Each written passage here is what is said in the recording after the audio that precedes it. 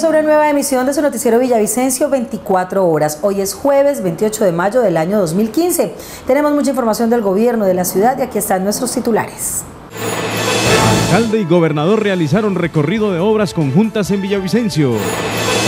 Proyecto de vivienda y vías, lo más destacado de estos proyectos que se construyen actualmente. El gobernador Alan Jara destacó las obras de protección a viviendas y fincas en las riberas del río Guatiquía y Guayuriba. El gobierno de la ciudad realiza obras de protección en el Caño La Cuerera. Tenderos y drogueristas de nuestra ciudad recibieron tabletas que servirán para llevar sus cuentas. Secretario de Gobierno rechaza el mal comportamiento de padres permisivos con sus hijos consumidores de droga. Gobierno realizará de manera articulada una actividad de forma simultánea en todas las instituciones educativas. Estas son las noticias del gobierno de la ciudad. El alcalde Juan Guillermo Zuluaga y el gobernador Alanjara realizaron un recorrido por las obras que de forma conjunta realizan la gobernación del Meta y la alcaldía de Villavicencio. Proyectos de vivienda y vías son los más destacados. Teniendo como punto de partida el Parque de los Libertadores, los equipos de trabajo de la Gobernación y del Gobierno de la Ciudad Unidos iniciaron el recorrido que nos llevó directamente a la vía Catama. Pasando la entrada de la reliquia, ingresando sobre la margen izquierda, encontramos el proyecto de vivienda, donde se construyen cerca de 800 unidades habitacionales que están próximas a entregar. Este barrio lo hemos denominado en aquí en el sector del 13 de mayo, Betty Camacho de Rangel. Y en el sector de La Madrid, lo que estamos haciendo en conjunto con la gobernación se va a llamar o se llama Ernesto Jara Castro. ¿Cuántas casas va a tener? Aquí son 880 viviendas aquí en este sector. ¿Se alcanzan a entregar las 880 este año aquí? Las 3.196 las alcanzamos a entregar este año. El alcalde destacó que por primera vez los gobiernos construyen y después adjudican las viviendas para garantizar que quienes reciban dichas unidades habitacionales se constituyan en núcleos familiares debidamente identificados. Yo creo que es la primera vez que primero van a estar las viviendas y después van a estar los beneficiarios. Y esto es aprendiendo, y, no lo digo por criticar, lo digo es por responsabilidad solamente. Esto es aprendiendo de errores del pasado. Hay que primero sacar adelante los programas de vivienda para tenerlos listos para que las familias, una vez salgan eh, seleccionadas, se les asigne su vivienda, en poco tiempo ya puedan estar viviendo en ellas. Casi siempre era asignar las viviendas y después empezar procesos constructivos. Aquí lo hicimos totalmente al revés.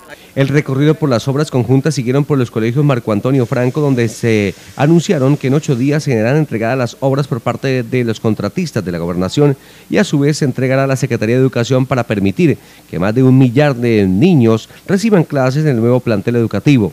Posteriormente, el gobernador y el alcalde, con sus respectivas comitivas, visitaron las obras del Malecón del Guatiquía, así como el proyecto de la Avenida Nueva Colombia, obras del anillo vial y la vía de la carretera al Amor. Y es que más de 800 casas se están construyendo en el proyecto habitacional Betty Camacho de Rangel. Estos programas conjuntos entre la gobernación y la alcaldía están en cercanías al 13 de mayo. El trabajo conjunto entre la Gobernación del Meta y el Gobierno de la ciudad se ve reflejado en la construcción de este nuevo proyecto habitacional que ayudará a mejorar la vida a cerca de 1.300 familias. Las viviendas se construyen en predios aportados por la Alcaldía de Villavicencio y la inversión económica para edificar y realizar las obras de urbanismo fueron realizadas por la Gobernación del Meta. Hoy tenemos terminadas 440. En un mes tendremos 262 más y a noviembre 27 el, resto para completar las 1322. Paralelo al proyecto de vivienda Betty Camacho de Rangel, desarrollado contiguo a la reliquia, el gobierno de la ciudad construye con la gobernación el proyecto Ernesto Jara Castro para más de 2.000 familias en el sector de La Madrid. Eh, va a haber una primera entrega que es para población desplazada en discapacidad, afro, indígena y extrema pobreza, 216 inicialmente. ¿De qué, se caracterizan las viviendas? Estas viviendas están construidas en un lote de 72 metros cuadrados con una construcción de 41.86 metros cuadrados. Dos habitaciones, sala, comedor, cocina, eh, un baño y patio para ampliación. El alcalde Juan Guillermo Zuluaga destaca que al finalizar el año, cerca de 8.000 familias serán más felices al disfrutar de una vivienda propia, ya sea en la Madrid, San Antonio o en el nuevo proyecto Betty Camacho de Rangel. El gobernador del Meta, Alan Jara, destacó las obras de protección que se vienen realizando a fincas y viviendas en los alrededores de los ríos Guayuriba y Guatiquía. Asimismo, la vía alterna que se está haciendo para Porfía y Las Palmas. Así, están quedando las obras del malecón sobre el dique del río Guatiquía. Los trabajos de construcción del punto medio ubicado sobre el barrio Vencedores se observa bien avanzado. Recordemos que este proyecto construido por la gobernación del Meta servirá de atractivo turístico en un tramo de cerca de 5 kilómetros, partiendo desde los barrios Brisas del Guatiquía hasta Parcelas del Progreso. Asimismo, otros proyectos de vías se ejecutan paralelo en la ciudad con una gran inversión. Son inversiones que sumado a lo que estamos haciendo en Villavicencio da más de 500 mil millones de pesos. Y lo importante de esto es que son inversiones que estamos haciendo de manera conjunta, eh, aunque son recursos de gobernación, siempre van complementados con la alcaldía. Eh, un buen ejemplo es eh, que entrando por los multifamiliares Los Centauros, la alcaldía está pavimentando un, sector, lo que era la, la carretera del amor, y la gobernación toma la posta hasta donde deja la alcaldía y continúa. Y después la alcaldía vuelve y toma la posta para salir por esa misma vía hasta la Madrid. Paralelo al dique, existen otras obras de protección en las riberas de los ríos Guayuriba y Guatiquía que superan 35 mil millones de pesos, reitera el gobernante. El río Guatiquía, en esta área que estamos, eh, todos los barrios que están en la margen derecha y en la margen izquierda requieren una intervención porque los sedimentos que trae el río los va depositando y va subiendo el nivel y termina desbordándose. Entonces tenemos que esa labor que hemos hecho con muchos recursos de construcción de dique y que ya se nos olvidaron las épocas de esos desbordamientos, hay que continuarlo, hay que preservarlo. Entonces vamos a intervenir también en el río Negrito, en el sector del Guayuriba, donde se presentó eh, una emergencia en el, en el, invierno pasado. Asimismo, las vías Nueva Colombia, trazado que comienza desde el sector barrio El Delirio hasta el manantial, ayudará a integrar este sector de la ciudad.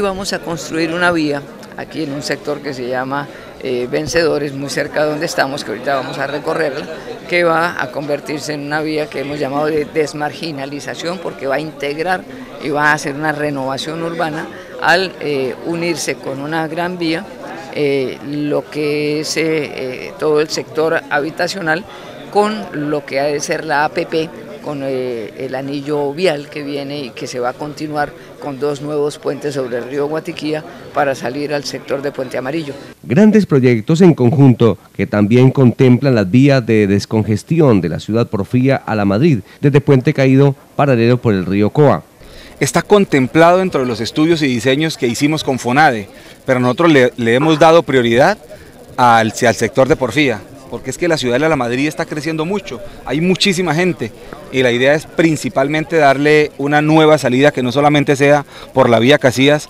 sino por este corredor que le hemos llamado el corredor ecológico de la vereda del amor. Entonces, eh, hay los estudios y los diseños para ir hasta la Universidad de los Llanos, pero la prioridad la estamos dando hacia el sector de Ciudad Porfía. Este tramo de vía sin duda alguna ayudará a dinamizar la Comuna 8.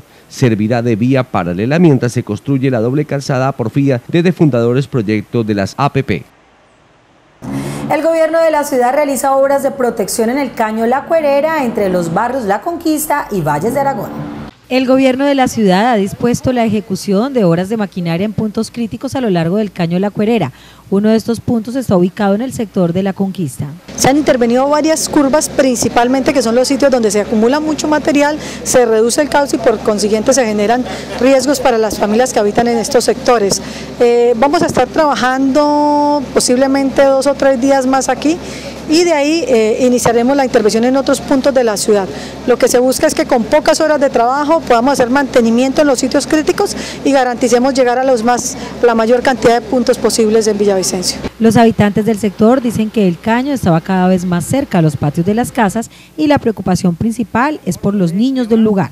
Ese es un, un trabajo, un jarillón que se hizo con la doctora, gracias a la doctora Patricia, para una protección sobre las casas porque el caño se estaba recostando a ellas. Entonces ya el caño nos quedó retiradito de, las casas. Entonces Eso es una ayuda muy grande para el barrio. Adicional a los trabajos que realiza el gobierno de la ciudad, la comunidad también debe tener sentido de pertenencia y no permitir que sus malas acciones causen riesgos. Necesitamos una ayuda para que nos solucione aquí en el, del espacio de la calle, con todos un vecino que tenemos ahí que nos tiene pero perjudicada con toda la chatarrería que tenemos ahí, y hacia el lado del caño, que es un montanerío de San Para todos los niños, que son los que nos tiene perjudicada acá con todos los niños que nos colaboren ahí que nos haga el favor. Con el trabajo que se realiza se garantiza que las familias ubicadas aguas arriba y aguas abajo puedan estar protegidas gracias a que el afluente ha sido encauzado y la movilidad del caño evitará procesos de socavación.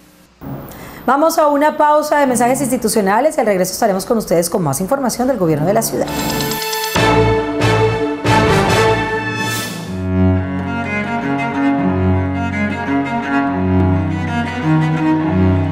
Llevo muchos años en esta región y desde mi llegada vivo enamorado aquí.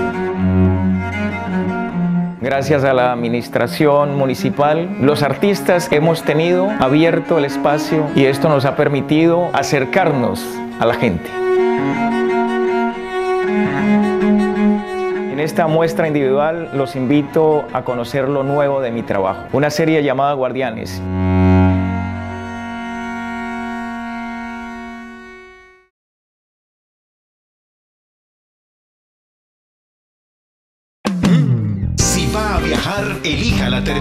Transportes de Villavicencio. Vigilancia las 24 horas del día. Circuito cerrado de televisión. Sala de espera VIP. Locales comerciales. 11 empresas transportadoras a su servicio para cubrir más de 200 rutas. Somos el puerto terrestre más importante de la Orinoquia. Terminal de Transportes de Villavicencio. Destino seguro.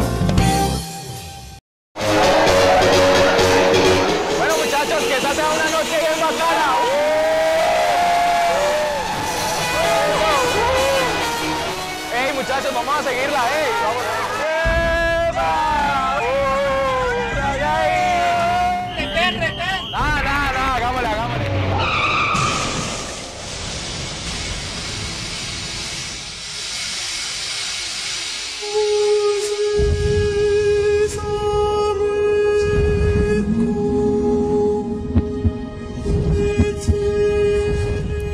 Conciencia, en casa, alguien te espera. Secretaría de Movilidad, Gobierno de la Ciudad.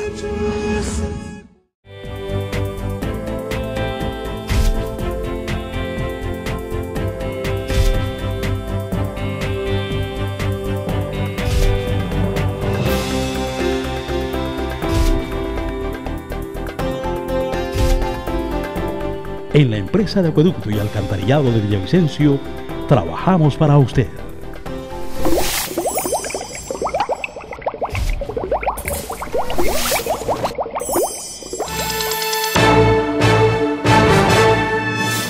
Gracias al proyecto Villavicencio MIPIMES, los tenderos y drogueristas de la ciudad recibieron tabletas en las cuales podrán realizar ahora sus cuentas de manera más organizada. Esto gracias al convenio entre Ecopetrol y la Cámara de Comercio. Un total de 1.060 tenderos, droguistas y microempresarios de Villavicencio recibieron tablets mediante un convenio suscrito entre Ecopetrol y la Cámara de Comercio, que se constituye en la entrada a la era tecnología de quienes han ejercido estas actividades artesanalmente.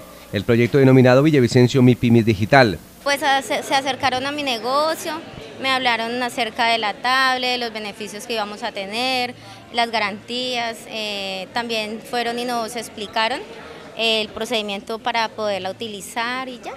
Y pues me llegó una invitación y por eso vine el día de hoy y efectivamente me entregaron el equipo. El equipo entregado tipo tableta también venía con accesorios que son útiles para las labores diarias y contables de los pequeños establecimientos. Pues he tenido tablets, pero pues eh, la idea del equipo es manejarlo en el negocio, pues sacarle los beneficios y la persona que nos explicó, pues la verdad sí... ¿Orientó bien? Sí, nos orientó muy bien y nos dio varias formas para utilizarlo. En beneficio para los más de mil comerciantes es destacado, pues ayuda directamente a crear una nueva cultura en las actividades diarias. Para nosotros es gratificante como Junta Directiva estar haciendo este acompañamiento el día de hoy, porque consideramos que es una nueva etapa de esta Cámara de Comercio. Es el fruto del esfuerzo que han venido haciendo. Obviamente que este proyecto ya venía andando, pero hoy ha sido muy importante para nosotros acompañar a nuestros pequeños y, microempresarios para que eh, no solamente entren en la etapa de la tecnología, sino para que sus negocios empiecen a tener ese paso adelante, porque realmente hoy día es preocupante ver cómo algunos de nuestros senderos día a día se han quedado atrás y eso significa que de una forma u otra en algún momento van a tener que cerrar su negocio.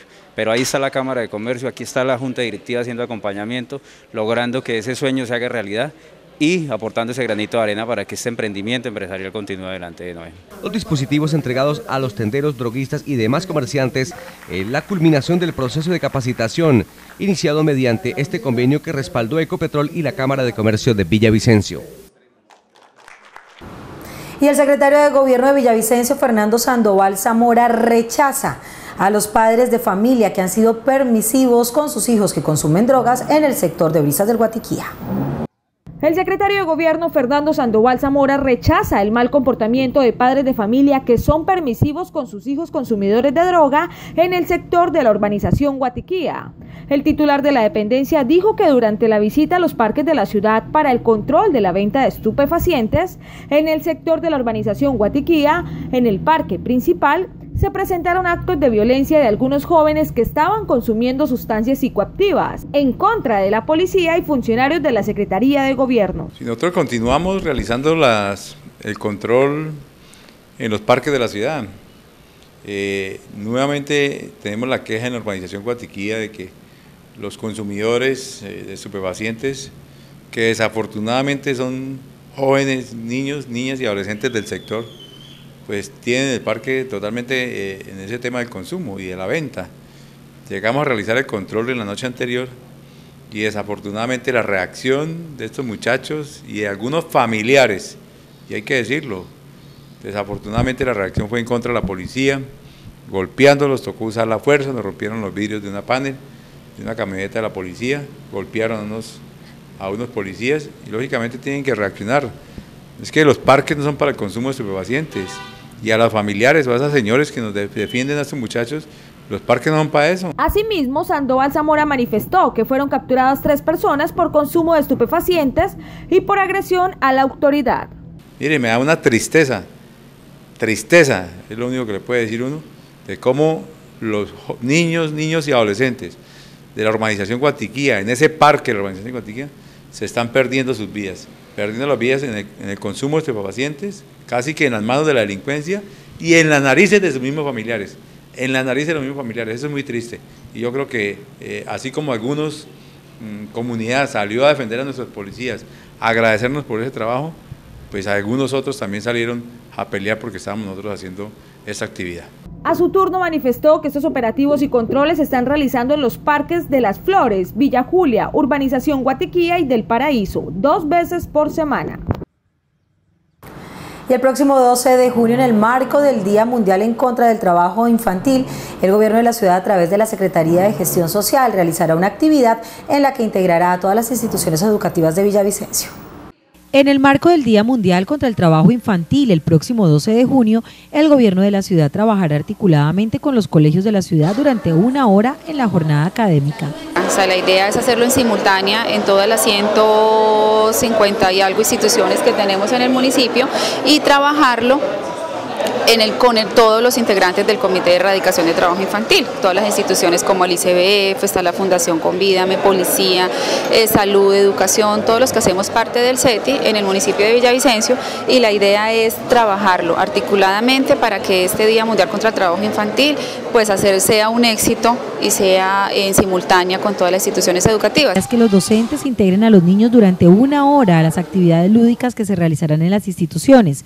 Las concentraciones más grandes se harán en los megacolegios de Porfía y 13 de mayo. Llega Linder, Corcumbi, Policía con obra de teatro y vamos a mirar si ese día hacemos como el evento general y vamos a tener un punto de atención, por así decirlo, un evento en el Parque del Hacha con la Fundación Telefónica, Fundación Convídame. Ellos ya tienen una actividad programada con todos los niños que atienden en la Fundación Pro Niño y se van a hacer las actividades ese día a las 9 de la mañana en el Parque del Hacha. Durante el Comité de Erradicación, además de programar la actividad del 12 de junio, se trabajó la línea base de los niños que ya están reportados en el sistema de confirmación integrado con el Ministerio de Trabajo.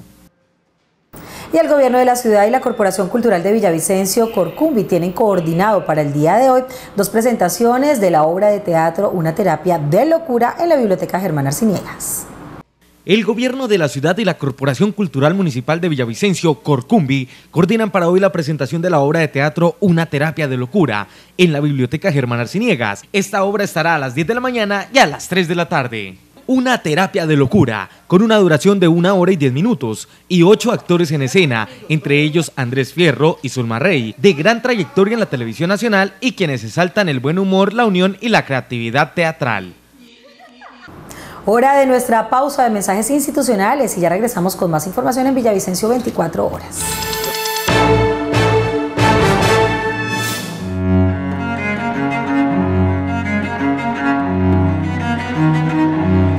Llevo muchos años en esta región y desde mi llegada vivo enamorado aquí. Gracias a la administración municipal, los artistas hemos tenido abierto el espacio y esto nos ha permitido acercarnos a la gente. En esta muestra individual los invito a conocer lo nuevo de mi trabajo, una serie llamada Guardianes.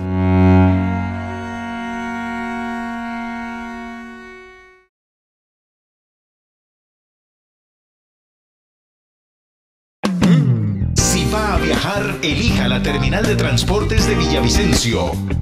Vigilancia las 24 horas del día. Circuito cerrado de televisión.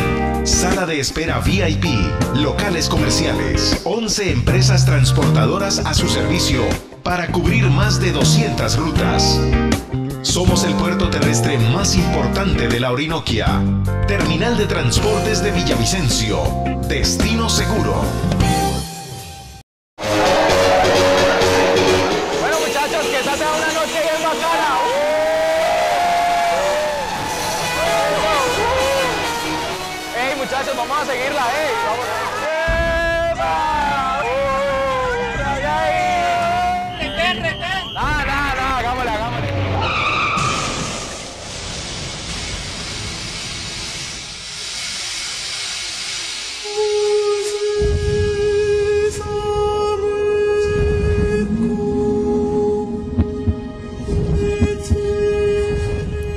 Conciencia, en casa, alguien te espera. Secretaría de Movilidad, Gobierno de la Ciudad.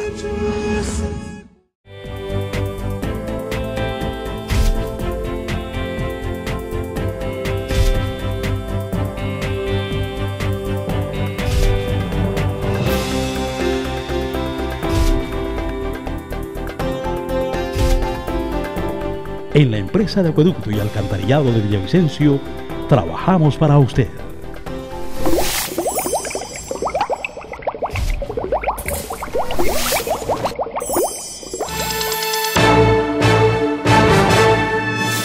Un tratamiento sin precedentes para prevenir la caries de por vida. Fue realizado a cientos de niños en Villavicencio durante el desarrollo de la campaña Soy Generación Sonriente. Durante una jornada maratónica en las EPS y IPS de Villavicencio se llevó a cabo la gran jornada de la campaña Soy Generación Sonriente, cuyo fin principal es y será de ahora en adelante fortalecer la salud dental de los niños. Que es una jornada de la estrategia Soy Generación Sonriente, que es directriz del Ministerio de Salud y la Protección Social. Hemos recorrido las IPS de la S municipal y algunas IPS eh, contributivas, como fue CISCOP de Comeva, y en este momento nos encontramos en la IPS materno-infantil de la Corporación IPS Llanos Orientales. Con aplicación de flúor de barniz, odontólogos de la ciudad buscan prevenir la caries de por vida en los pequeños. Eh, la aplicación de flúor sirve para proteger a todos los niños de 1 a casi aquí ya tenemos hasta los 19, le estamos colocando hasta casi eh, dos veces al año, nos sirve para prevenir la caries las enfermedades em, como pérdida de los dientes prematuros. Estamos eh, teniendo una caries excesiva en los niños por aumento del alimento en dulces, mal cepillado, mala higiene. Para el éxito de la actividad fue de suma importancia el trabajo en equipo de la Secretaría Local de Salud y la S Municipal. En la aplicación del barniz y la adquisición, pues lo hace directamente la empresa para la aplicación de sus usuarios. Tenemos la disponibilidad en todos nuestros centros de salud. Tenemos 28 odontólogos disponibles, tuvimos para toda la jornada, tanto en la mañana como en la tarde, agendas abiertas totalmente para, la, para esperar a todos los niños y niñas que acudieron al servicio en lo largo de la jornada del día que aproximadamente en seis meses se realice la segunda jornada nacional de la campaña Soy Generación Sonriente para hacer seguimiento a los primeros pacientes y dar cobertura a los niños que no asistieron a la primera jornada. Hemos llegado al final de nuestra emisión. Recuerden que estamos con ustedes a través del canal 204 de Claro, aquí en Villavicencio, en otros municipios con otros cableoperadores, en todo el edificio de la administración municipal y la información del gobierno de la ciudad. Si quiere más, la puede adquirir a través de www.villavicencio.gov.co. Que tengan un feliz día.